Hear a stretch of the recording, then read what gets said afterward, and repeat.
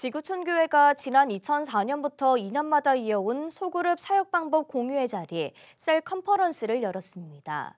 15번째로 열린 이번 컨퍼런스에선 팬데믹과 같은 교회 위기를 대처할 수 있는 핵심 방법이 강조됐습니다. 장정훈 기자의 보도입니다.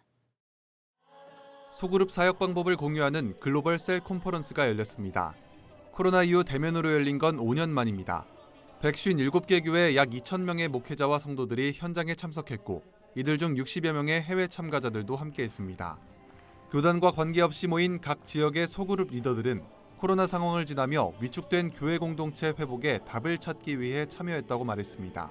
코로나 팬데믹 상황을 통해서 목장이 어떻게 좀 타게 될수 있을까 이런 부분을 많이 고민하는 가운데 저희 교회에서도 마찬가지로 소그룹을 어떻게 더 활성화할 수 있을까 고민하면서도 연구하는 마음으로 참여하게 됐습니다. 주제는 교회 미래, 열두 제자 비전이 답입니다로 소그룹 사역과 교회 본질 회복을 위한 방법이 강조됐습니다. 주 강사로 나선 최성은 목사는 지구촌 교회 역시 팬데믹으로 인해 어려움을 겪었지만 오히려 교회가 더 성장할 수 있었다고 말했습니다. 그 비결로 최 목사는 목장으로 불리는 소그룹 사역을 꼽았습니다. 팬데믹으로 분리되는 사회에서 소수의 교회 성도들이 모여 이룬 관계성을 바탕으로 위기를 극복했다는 겁니다.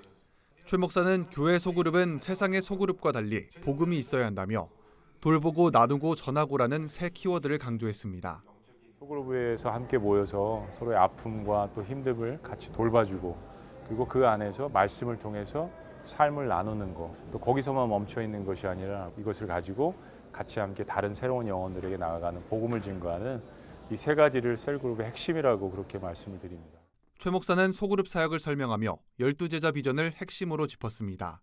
교회 설립 이전 열두 제자와 함께 소그룹을 이룬 그리스도의 모습을 따라 세상과 다른 위로를 줄 수 있는 교회 공동체를 세워나갈 것을 강조했습니다.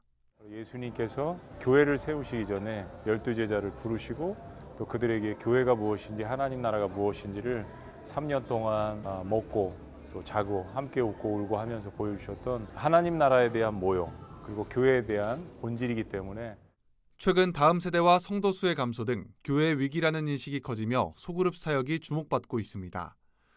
최성은 목사는 열두 제자 비전을 통해 교회가 부흥하고 무너진 교회 안 공동체를 세우는데 큰 도움이 되길 바란다고 전했습니다. 구티비 뉴스 장정훈입니다.